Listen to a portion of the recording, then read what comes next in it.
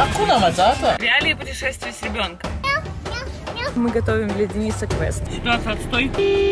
Видел скелет змеи. Все закончилось. Господи, там кто-то полз или нет? Танзания равно опасность. Кто-то пожирает нашу кровать.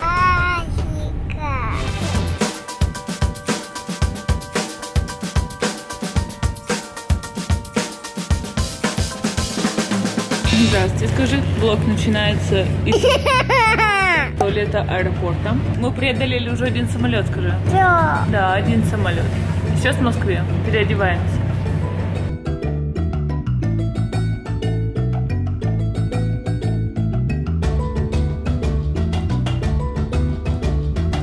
Ева уже на самом деле очень хочет спать. Вот я бы тоже так сейчас не отказалась полежать. Но надеюсь, мы уснем именно в самолете. Ой, как красиво ты танцуешь. Из Екатеринбурга до Москвы в самолете все время нас просили быть в масках. Только если ты ешь, ты имеешь право быть не в маске. Поэтому есть такой лайфхак, есть всегда. Едем кушать. Нас не пускают в зону ожидания. Говорят, торчите два часа здесь. Куда мы летим? В Африку? Секу. Мы засели перекусить. Точнее, не перекусить, а плотненько так поесть, потому что очень голодные. У меня теплый салат с фалафелем, с хумусом. У Евы рисовая кашка. Смотрите, это капсульные отели. То есть чисто вот такая вот капсула на человека. Ты можешь там спать. А вон, собственно, как выглядит внутри. А там что-то посидим. Серьезно? Представляете, я как бы по приколу хотела показать вам эти капсульные отели или капсульные номера, как они называются, а в итоге мы здесь э, будем сейчас спать. Денис предложил. Вообще, на самом деле, по плану у нас э, был э, поход в бизнес-зал, потому что у Дениса есть какая-то карта Тинькофф, и там можно в бизнес-зал ходить всей семье. Мы каждый раз туда ходим, когда летаем, но мы приехали из э, Екатеринбурга в Москву заранее, поэтому нас сейчас долго нужно нам ждать до регистрации. Ева уже хочет спать, хотя бы три часа мы сейчас прикорнем, наверное. Ева диджей. Все, пока, спокойной ночи. Ева, поцелуй папу. Опа, закрылись мы с тобой. Тук-тук. Привет! Прикольно, блин, уже классно путешествие начинается. Просто с какой-то кабинки. Ева, хочешь спать? Ну-ка, делаем свет меньше. Опа. Но поспать у нас не получилось. Минут 20 поворочились и решили все-таки оставить сон для перелета. А это ни много ни мало целых девять с половиной часов. Хорошо, что они пришлись на ночь. Это, кстати, кадры из того самого бизнес-зала. Очень порадовало наличие детской комнаты. Ева набегалась, напрыгалась, и мы пошли на посадку. Мы почистили зубы, сменили еще раз одежду, я сделала косичку, и мы готовы лететь.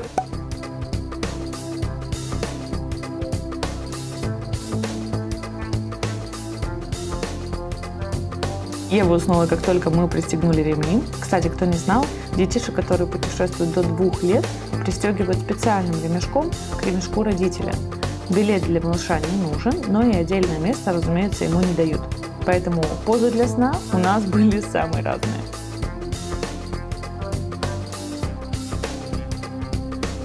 Мы пережили эту ночь.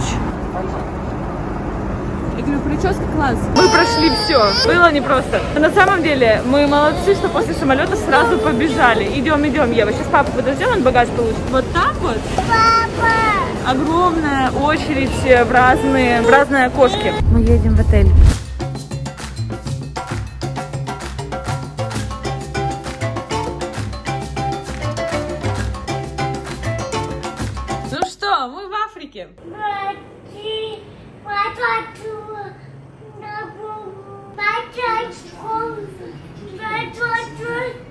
Интересный или не очень факт обо мне. Как бы я не устала после перелета, как бы мне не хотелось просто прыгнуть в бассейн и расслабиться, мне необходимо сперва разобрать все чемоданы, разложить вещи по полочкам и навести порядок. У Дениса, как вы можете заметить, такой потребности нет. Блин, какая же красота, девочки!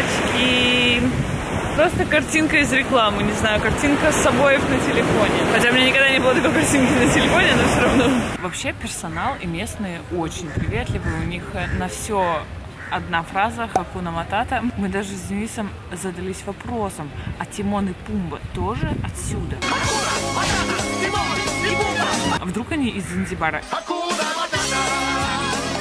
Единственное, что я точно знаю, что из Занзибара, а, прямо на Занзибаре родился Фредди Меркьюри. Вот, это его родина. И что сюда он возвращался вдохновляться. В принципе, весь перелет сюда не такой уж и сложный, не такой уж и долгий. Тут вот ребята есть из Бразилии, у них было 4 перелета, один из которых 12 часов сюда.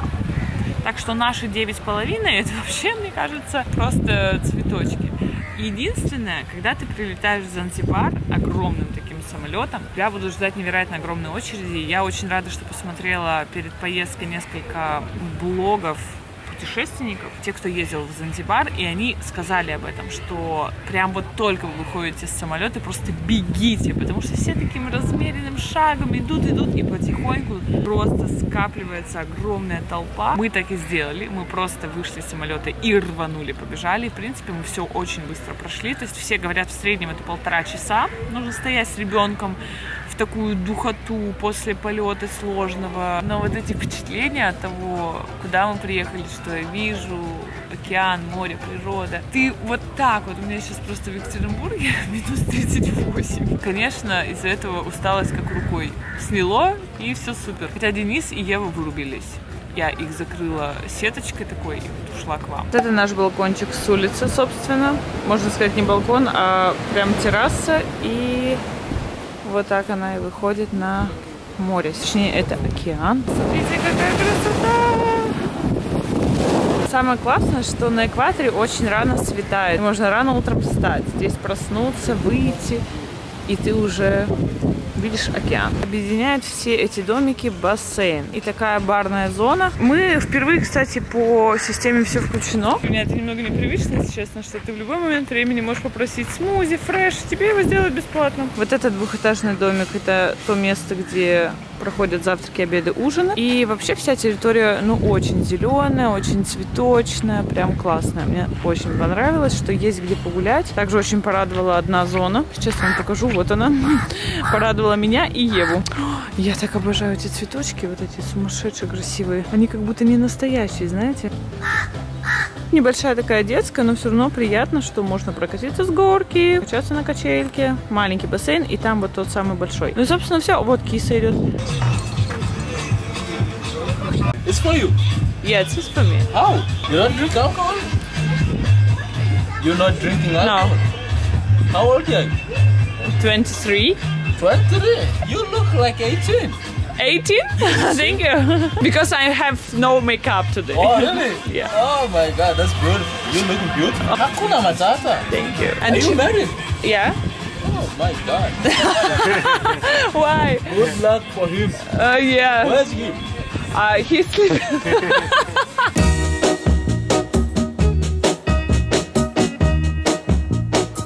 I'm gonna tell you that I love you.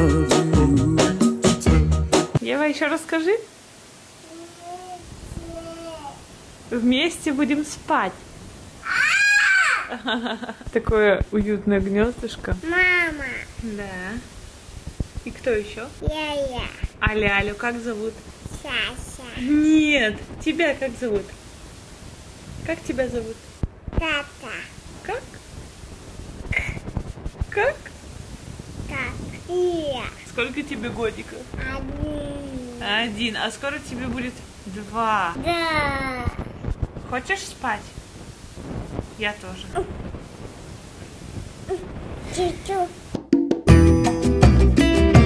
Доброе утро! Мы еще не разобрались, как здесь работают отливы и приливы. Здесь замечательный свет. Но сегодня мы утром проснулись, и нет отлива. Это значит, что можно с самого утра, пока солнышка дикого такого нет, пойти купаться. Я проснулась буквально 5 минут назад. Ева уже сразу же опять сказала гулять, и мы решили так и сделать. Кремом вообще не хочется здесь мазаться, абсолютно. Потому что я и так просыпаюсь с ощущением жирности на лице, то есть как будто переувлажнение идет, поэтому не хочется ничего наносить, собственно, все. Побежали. Может быть, эту штуку взять под названием хрень, помните? Вот они. Это вода. Водичка, Ева, пойдем вместе.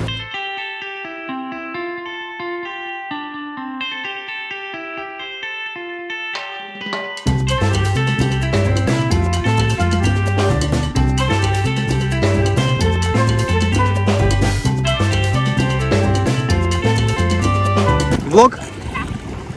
For Russian people? На вас идет волна. Вау! Чего вы подлетели? Ева такая, «Вау».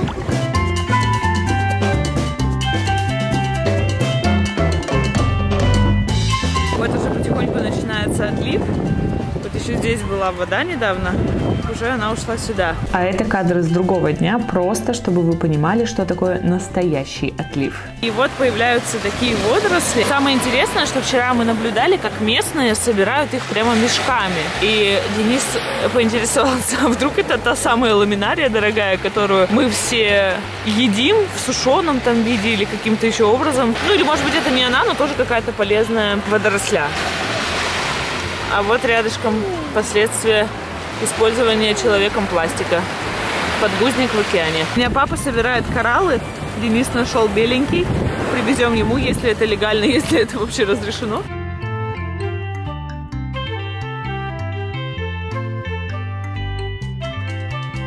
Просто неожиданно. Ева, как говорит лошадка? Иго-го. Джамбо. Джамбо. One, two, four. One, two, four. Овсяная каша, просто обычная на воде. Донатсы кокосовые какие-то. Бобы. Бобы это классно. Это лапша с овощами, какой-то пудинг и жареный рис.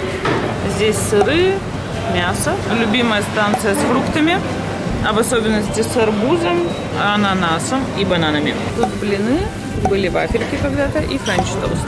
Это станция с яйцами. Здесь онлайн делают всякие яишенки, джамбо, орешки и хлебная станция. Небольшой, но уютненький. Растительного молока тут нет, только коровье. Поэтому я очень рада, что взяла с собой растительное молочко.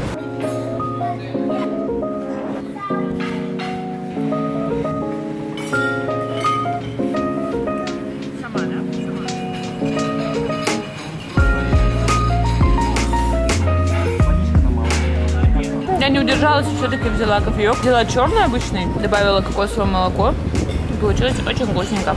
Вообще надо сказать, что это такая огромная разница путешествовать с ребенком, которому 9 месяцев, и с ребенком, которому год и 9 месяцев. Конечно, в разном возрасте есть свои нюансы и плюшки, но второй вариант мне понравился больше. Да, сейчас у Евы всего один дневной сон. Это единственное время, которое ты можешь уделить себе, но зато и ребенок уже более самостоятельный. У пирожка начался сон. Мы с Денисом будем сейчас бегать по одному и просто наслаждаться этой горячей водой, потому что это даже не теплая вода, горячая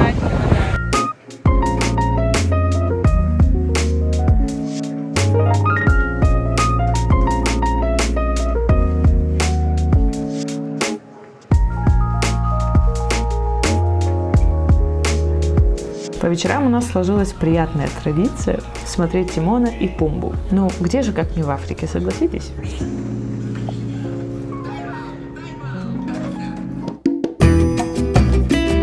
Знаете, расположение детской зоны, оно прямо по пути на завтрак. Ну и на обед, и на ужин. Нужно закладывать время, чтобы еще на площадке задержаться. Ева как маленький Маугли, у нее уже все ноги черные в земле. На самом деле очень классно босиком ходить именно с землей, соприкасаться с землей, с песком. Мы так редко это делаем, но это настолько гармонизирует нас вообще, человека. Мы все время ходим в обуви, по асфальту. Мы вышли прогуляться подальше от пляжа. И на самом деле делать тут особо нечего. Реалии вот такие. Такие классные дороги. Африке кроме климата ничего нет. Немножко напоминает Индию. Вот такие картины, например. Но прогуляться стоит.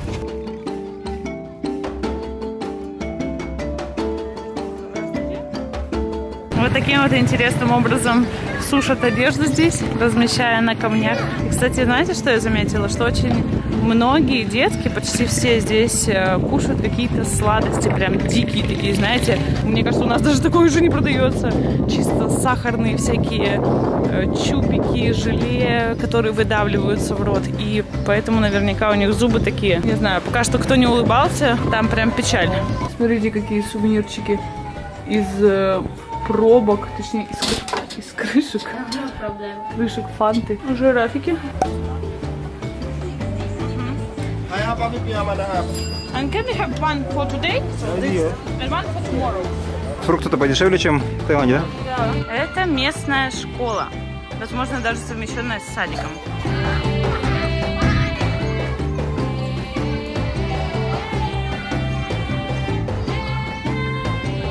Итак, мы зашли в местный супермаркет. Тут самый большой считается, самый такой продвинутый.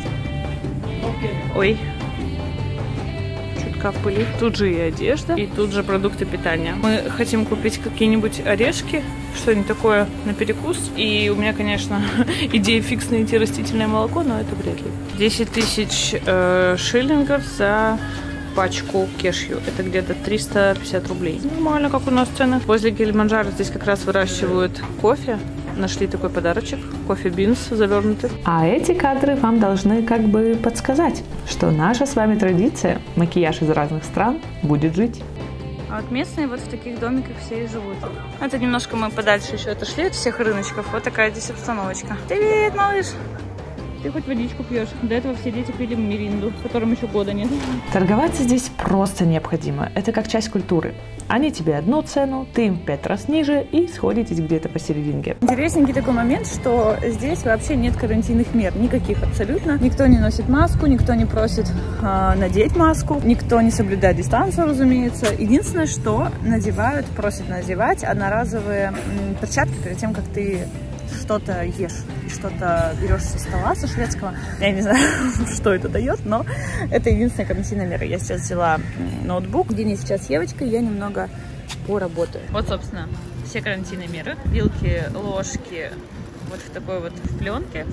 И вот такие перчатки нужно надевать, набирать еду, все, потом садиться. История о том, как мы хотели э, сдать свои вещи в прачечную, посмотрели на местные цены, типа платье за 5 долларов. Денис говорит, что они у нас даже стоят дешевле. И благополучно перехотели. Но зато нам дали вот такой клевый пакет специально для прачечной. Спасибо, мы его используем, но не в нашем отеле, а где-нибудь в другом месте. Пришли мы на ужин. Я заняла нам вот тот стол. Будем сейчас смотреть, что по еде. Вообще, очень-очень много всего подходит.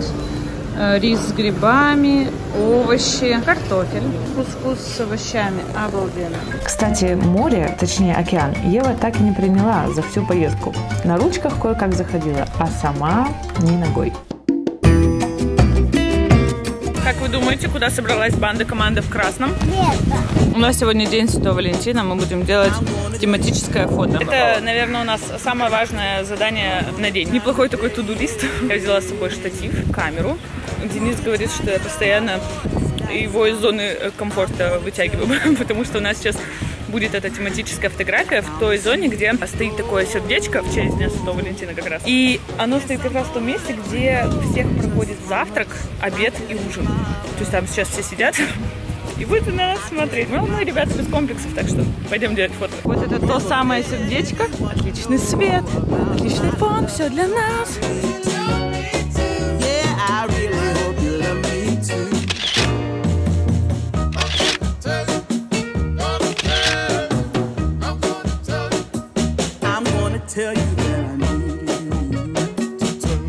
Все, у нас фотографии сделаны, видео тоже снято, а там что-то сжигают. Денис говорит, какие-то грехи сжигают, но, по-моему, это лодка. Просто они почему-то жгут лодку. Немного хочу вам рассказать о питании Евы здесь. В принципе, она ест все с, со шведского стола, но я очень рада, что взяла с собой вот такое не молоко и вот такие гречневые шарики, потому что в любой момент можно намешать, и это такой перекус или нормальный даже прием пищи. Ева очень любит. Интересно, что этот самый отстойный день оправдал свое название с самого утра, ведь я записала этот кусочек со звуком. но чудесным образом он исказился, поэтому вы ничего не услышите. Но если вкратце, я воодушевленно рассказывала о местной влажности воздуха, благодаря которой мои волосы выглядели как после салонного ухода, а кожа пяточек была почти такой же мягкой, как у Евы. Ты ангелочек? Ты поехала на машинке? Реалии путешествий с ребенком.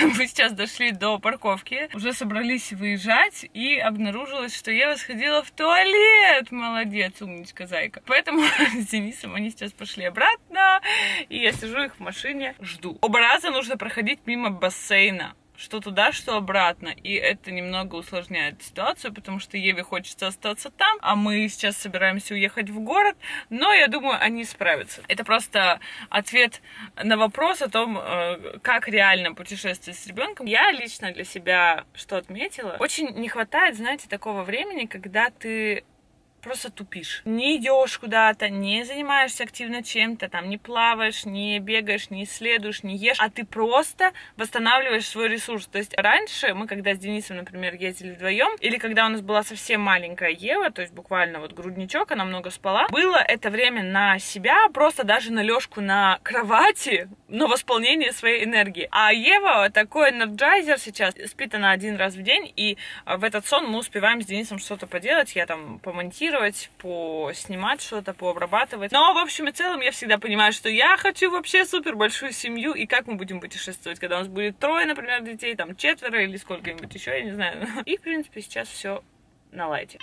У нас, значит, вот такой список покупок. Штаны белые, это мне, потому что я в поисках штанов для прогулки, для ходьбы, для йоги. Такие белые, свободные, легкие штаны. Подарки домой. Будем смотреть какие-нибудь интересные штучки. Мы собираем, как вы помните, птичку. Мама у меня собирает кошечку из разных стран. Тут есть, кстати, местный камень танзинит. И он такой, типа, как сапфир, даже дороже сапфира. Чем я в шляпе сижу в машине, непонятно. Очки Еве и Денису. Не знаю, как Ева отреагирует на солнцезащитные очки, но реально надо надо. У меня вот у единственной с собой они есть, у Дениса нет, он потерял их или где-то оставил дома, не знаю. И очень белый песок, отражается солнце от него, и вообще тяжело смотреть на все, шлепки Денису, потому что один шлепок благополучно Денис потерял в океане, оставив э, их на берегу. Бусики Еве. Мне очень здесь понравились деревянные всякие бусики, как они смотрятся такие, знаете, маленькие такие. И себе я, кстати, тоже, может, посмотрю какие-нибудь бусики или местные украшения. Такое слово бусики. Бусики. И два пункта из нашего списка это то, что происходит с нами каждый раз в путешествиях. Это, знаете, какая-то деградация немножко, потому что я написала чипсы и шоколадку. Я заметила, что когда ты э, путешествуешь, когда ты вот э, выходишь из зоны комфорта, оказываешься в новой для себя обстановке, тебе хочется себя больше чем-то радовать, привычным, и мозгу давать какие-то привычные сигналы, что типа все хорошо, мы дома, условно говоря. И э, этими сигналами иногда становится еда. Более, например, вредная или какая-то привычная с детства. Вот почему, например, Макдональдс очень все начинают любить, особенно в путешествии, потому что это такая вещь, которая стандартизирована по качеству, и ты просто хочешь почувствовать вот это атмосферу дома, что типа здесь все забегаловки какие-то они чужие, да, они могут быть вкусными, классными, интересными, но иногда хочется что-то свое, родное. И вот таким местом является, например, Макдональдс для многих людей, потому что Макдональдс есть везде. Что-то мне уже жарковато. Тут левостороннее движение, руль справа. Справа. Молодец. Ой, ехали мы очень воодушевленные, конечно, но уже в пути пошло что-то не так. Движение на дорогах такое бешеное, фуры лихо гонят за 100 км в час и не притормаживают на поворотах. Детское кресло нам не дали, Ева кое-как поспала 20 минут на моих руках и проснулась не в духе. Мы приехали. Ну что, запись через час. Ситуация отстой. Наша худшая идея, наверное, была поехать в этот Занзибар Таун. Я даже не знаю, рассказывать все, что было, все, что не было. Просто неудачная поездочка. Я бы сказала так. Дико жарко. Деньги снять неоткуда. Все не работает. Повсюду какая-то неразбериха. Везде нам что-то втюхивают. Еве жарко. У нее началась потничка. Мы купили чипсы и сидим в машине. Папу ждем. Потничка это раздражение на жару. В итоге одним мельком мы посмотрели на дом Фредди Меркьюри. Мне хватило, спасибо. Я уже хочу домой.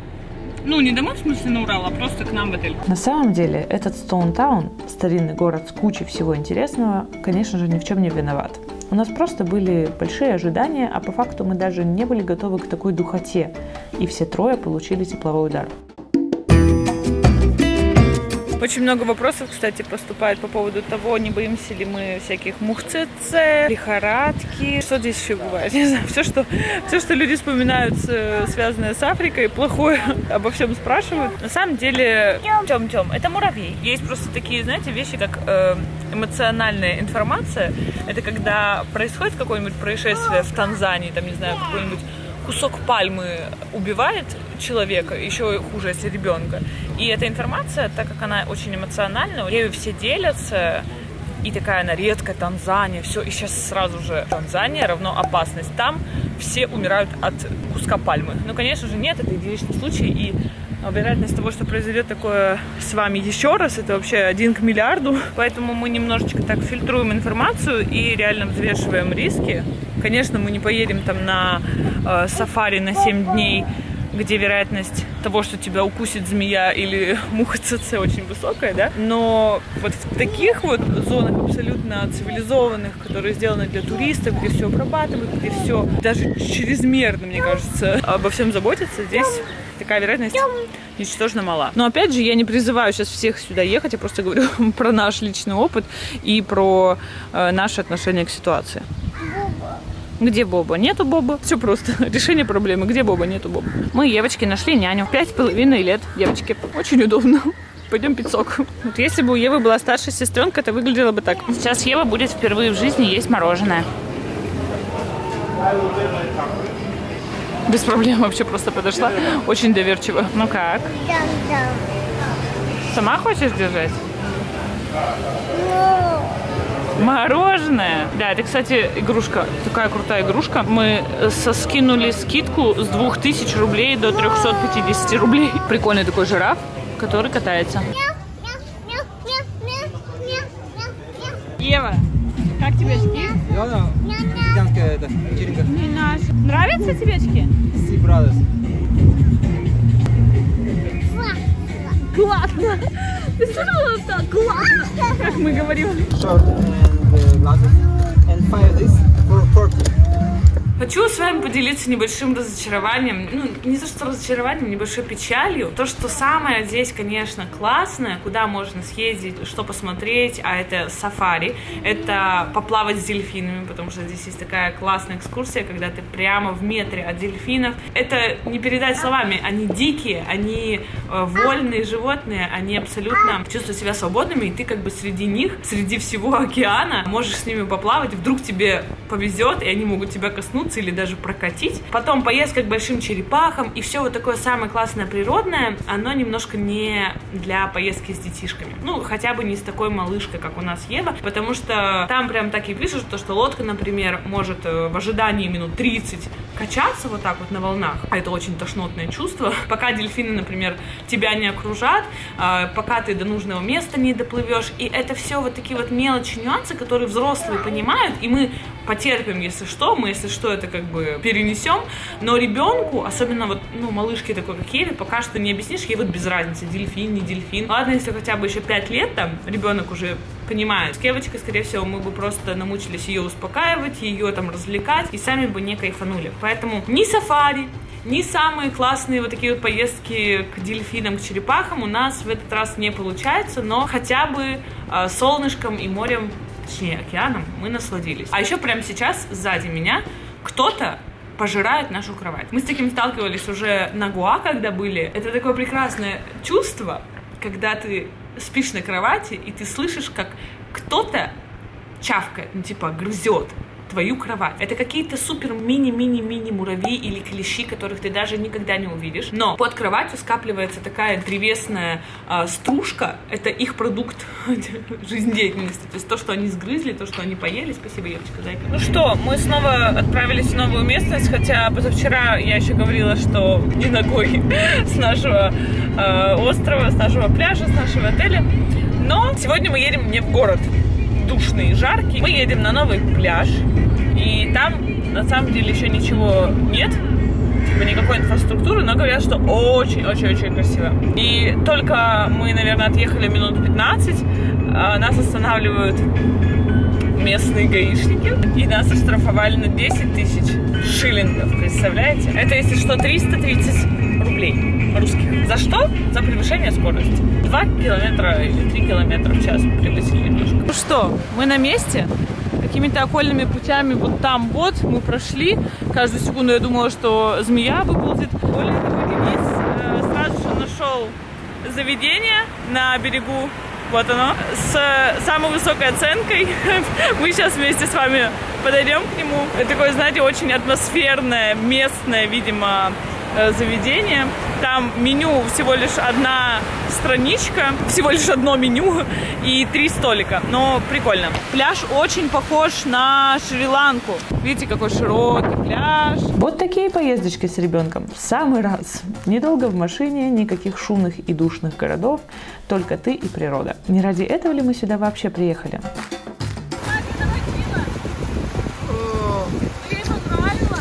Две девочки встретились. Из России обе. На первый этаж мы зашли, там никого нет. Я даже не знаю, где у них кухня на самом деле.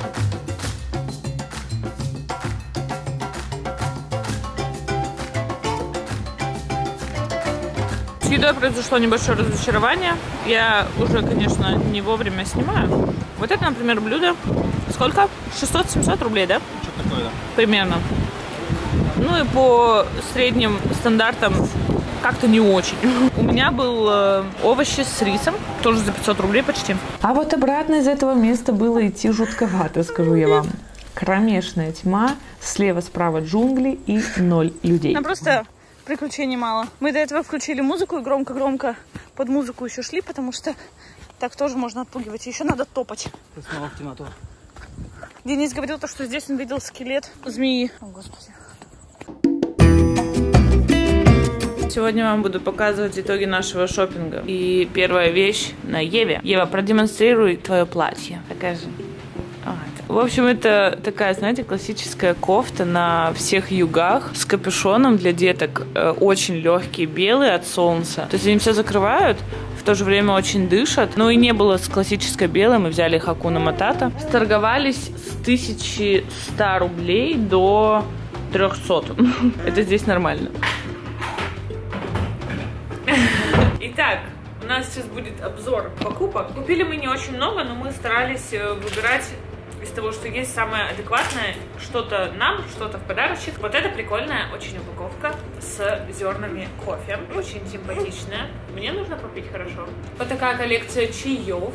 Это мы все выбивали по скидке. Например, говорят они 30 тысяч шиллингов. И мы, ну, примерно в два с половиной раза точно снижаем. Включается актерская игра, но они говорят изначально супер завышенную цену. Конечно, еще вот эта штука нас очень выдает, потому что показывает, что мы живем в отеле, что мы не просто как бы, ну, типа, своими дикарями тут приехали, а мы точно приехали, заплатили денег, что они у нас в кармане есть, скорее всего, и называют там баснословные цены. Ну, реально. Белые штаны, такие они широкие. Да, пойдем купаться, пойдем, девочка, чуть попозже. И единственное печенье без сахара, которое я здесь нашла, это просто на перекусы с чаем. Все наши запасы, печенька, какая радость. Все наши запасы из дома нормального печенья, каких-то еще продуктов, все закончилось. Закончилось все за неделю. Такие шортики. В итоге они нам обошлись за 15 тысяч шиллингов. Это 400 рублей.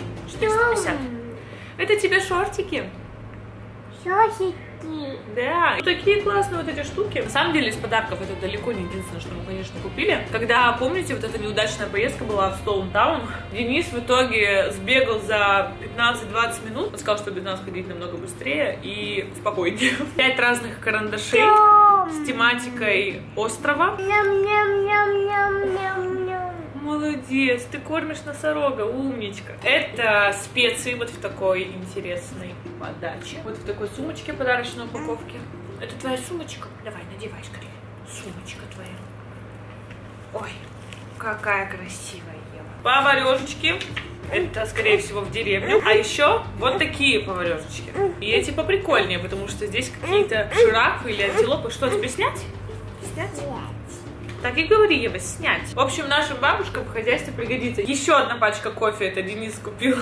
Ой, ой, ой. Конечно же, мы не уехали без птички в нашу коллекцию. Посмотрите, какая на этот раз птичка. Просто огроменная. Если учесть, что остальные у нас все вот такие маленькие из разных стран, то отсюда просто занзибарская птицыще. Мама моя собирает кошечек из разных стран, из разных городов, поэтому маме вот такую кошечку. И несколько пачек мыла. У меня сестра любит мыло, мама Дениса очень любит мыло. Осторожненько, девочка. Собственно, пока что это все. Но пока что. У нас здесь еще 5 дней, мы можем что-то накупить. 5 дней показала 4. Или у нас 4 дня осталось. Смотрите-ка, тело не врет. Показалось 4. Итак, у нас прямое включение с 22 февраля, а это значит, что завтра 23 капитан очевидность. А это значит, что мы готовим для Дениса квест. Ну, кто мы? Я и Ева, да. Только что я попросила одного из э, африканцев, занзибарцев, одного молодого человека из персонала поучаствовать в моем квесте. Потому что там будет э, задание. Я надеюсь, что я нормально, адекватно объяснила, но вроде он все понял, что ему нужно будет сказать, когда Денис к нему подойдет, слово «горка». Это значит, что следующее задание именно там. Собственно, целью всего испытания, испытаний точнее всех, будет собрать 5 вот таких цветочков. Ну и потом вместе с пятым он получает... О, господи, там кто-то полз или нет, мне кажется. Показалось, да? Это была тень, но не факт, не факт, не факт. И вместе с пятым Денис получит свой подарок.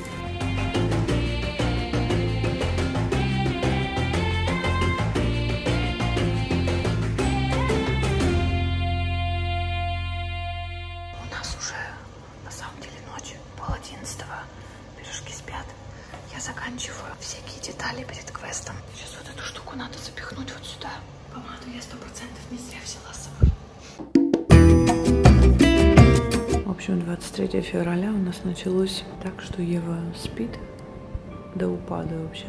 Уже почти 9 часов утра. Денис, конечно, давно проснулся. Я его отправила на шведский стол просто сидеть ждать. Потому что начинать квест со спящей Евой как бы странненько немножко. Я уже шторы открыла. А этот пирожок все спит. Я даже при ней сейчас говорю. Достаточно громко. Доброе утро, киса. Привет. Сейчас папа придет скоро. У папы сегодня праздник. Итак, делаем вид, что ты только что проснулся. И что ты делаешь первым делом, когда проснулся? Ну, Заходи, заходи привычным образом. Доброе утро. М, даже пахнет. Кстати, ни разу не нюхал. Нюхал? О, пахнет э, Да. как кремом каким. А что происходит?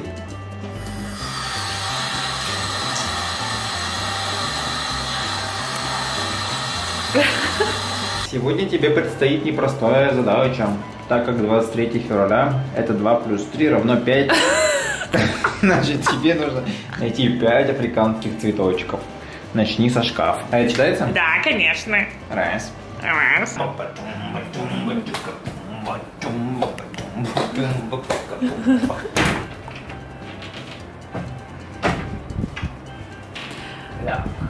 Чисто. Вообще, я тебе хочу упростить задачу. Не это шкаф? Холодно. Не это шкаф, что ли? Не в этом дело. Думай иначе. А где шкаф? Где сам шкаф? Вот он. И что же? Ты видишь? Ничего не вижу. Точно? Сверху уже смотрел. Прям перед собой, котик. Прям перед собой. Чего? Вот подошел ближе. Сундуком? А не знаю, я не знаю, я не знаю, что это такое, что это такое. На каком языке это может быть, если мы находимся? Правильно! Ты думаешь, я умный, что ли? Конечно. А нужно сначала узнать, на каком языке говорят в Танзании. Я тебе скажу. Подсказка. Суахили? Откуда ты знаешь? Умный. Неправда. Суа. Ну, это один из официальных языков Танзании. Откуда ты знаешь-то? Я сначала вела танзанийский, такого нет. Потом вела африканский. Коробка. Блин, перевод неправильный. Ящик. Ну, то же самое. Ну да. Джефф. Эммануэль. Ноу. Джефф. Че? Тут ты все знаешь. Кто такой Эммануэль?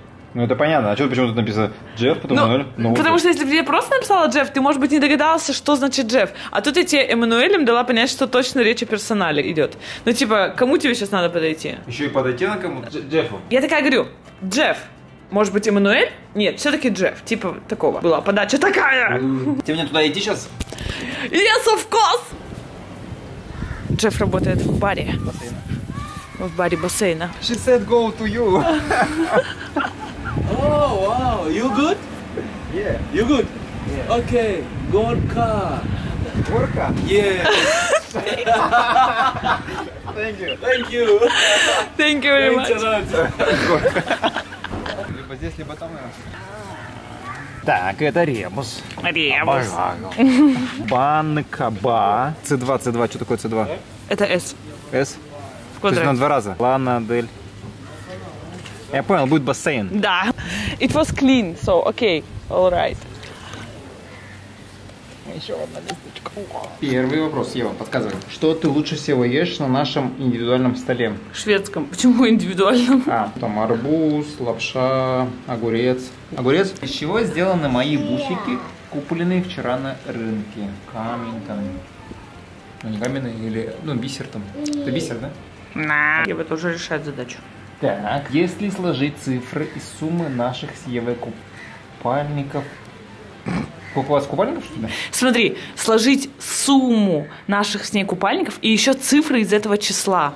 То есть подумай. То есть это значит, что у нас точно в сумме двухзначное число, потому что нужно сложить его цифры. То есть, например, 10 это 1 Да, плюс 0? да. И вышел 1? Наша первая покупка на Занзибаре. Вот это будет сложно. Я сама долго вспоминала, что это могло быть точно. Самое первое, что мы купили на деньги, неважно, на шиллинги, не на шиллинги, просто самая первая покупка в Занзибаре у нас какая? Ева, там край.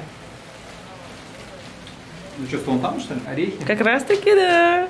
А, ну это вот в магазине том. Да, да. Какие орехи? Какие орехи? Кешью. Да. Капец, таких у тебя еще интеллектуальных кроссвордов не было. Да? Сложно, что ли? Что, вообще умнее с годами? Одно из Знаю, новых слов знаю, Евы. Вместе знаем.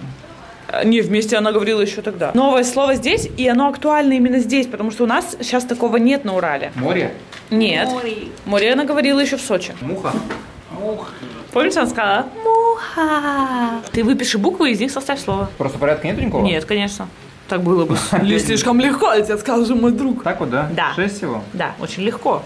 Более того, что мы уже здесь, блин, потому что ты сам сюда пришел.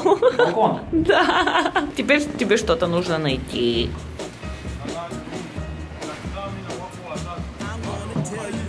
Та-да-да-да!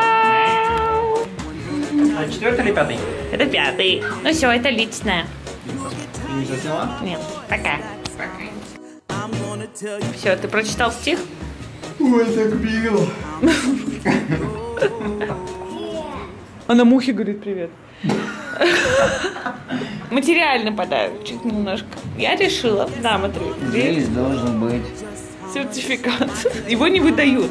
В общем, ты поедешь со своими друзьями праздновать 23 февраля в мужской компании, кататься на горных лыжах, в баньке и в пейнтбол играть. Круто, круто, круто, круто, круто, классно, классно, классно. Но если не на горные лыжи, то что-то другое сам себе выберешь. Там можно выбирать. Скажи, Ева, муха.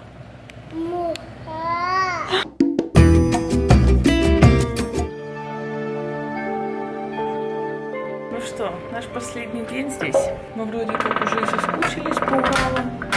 Но знаете, как только представишь, что ты выходишь вот так вот из дома, вот в такой вот одежде, и вот так вот за окном. Начнем этот день с йоги. До завтрака еще минут 20. Ева пока в песочке поиграет, а мы с вами позанимаемся.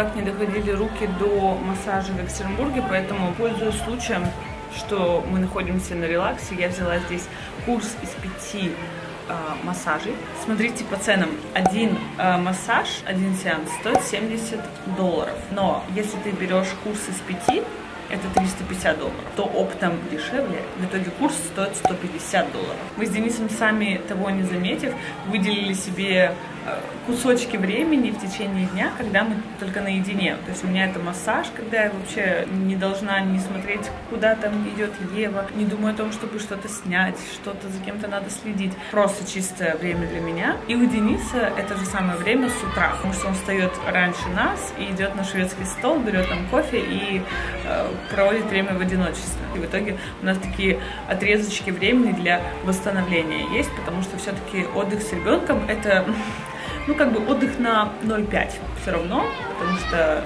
полностью расслабиться ты никогда не сможешь, ну, только когда ребенок спит. Поэтому, как мне кажется, важно выкраивать для себя вот такие вот отрезочки времени и восстанавливаться.